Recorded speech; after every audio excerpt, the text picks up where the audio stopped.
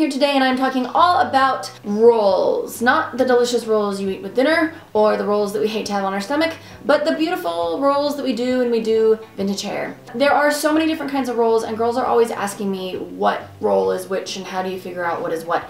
So I figured I would put it all in a video, then you know what roll is what, and then when you're searching for something, you know exactly what to search for because otherwise you're like, a vintage hair doodaddler roll thingy, and none of that will come up. I have also included links to videos for each type of roll so you can actually see tutorials on how to do those rolls. So just look up along the top of your screen when I am going through each roll and you will see links in the cards to each type of roll. So the first and most basic roll in vintage hairstyles is a barrel roll. And that is the roll that sort of goes up and then down towards your face. Um, it could go in either direction, but it rolls under. That is a barrel roll, and generally it's just one in the center of your head.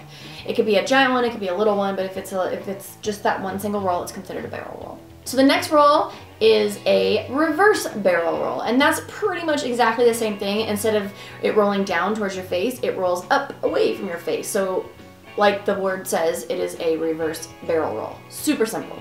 The most requested types of rolls from you guys for me are victory rolls.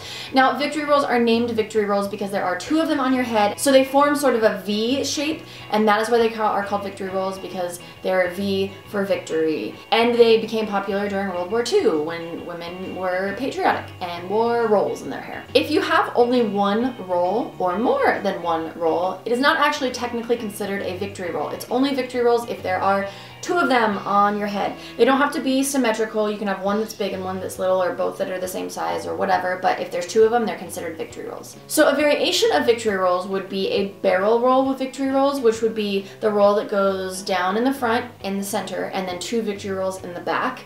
Now that isn't to be confused with triple victory rolls, which technically aren't victory rolls, but we call them triple victory rolls. So that would be when there's three rolls in the top on the top of your head that are exactly the the same size and they're placed in the same place. So one roll isn't bigger than the other and one isn't sort of sticking out more in the front than the other ones. And you can do quadruple victory rolls. You can do as many rolls as you want in the front. Again, like I said, technically they're not victory rolls, but we call them victory rolls so we have a frame of reference for them. Now, one thing that it actually isn't technically a roll, but it is kind of lumped in with rolls is a bumper bang. So it is kind of a roll and it depends on how you do it. So if you actually are putting a rat in your hair or a, um, a hair donut, not technically a roll because it's kind of going over something, but I am seeing a lot of girls these days that are just sort of making the bumper bang by teasing their hair and then rolling it under. So then it technically is a roll because you can kind of put your fingers in it. So I am including it in this video, but basically a bumper bang is just a bang that sort of rolls forward and creates kind of a faux bang.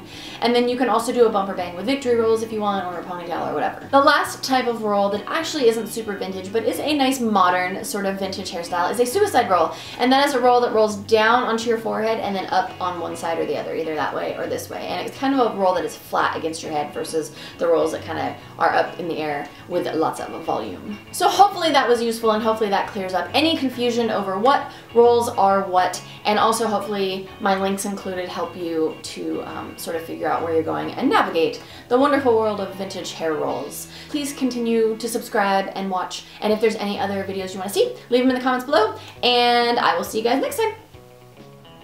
Hey guys, thanks for watching my video and be sure to check out these latest videos that I have posted and also be sure to click the subscribe button and turn your notifications on so you can see the new shenanigans coming your way.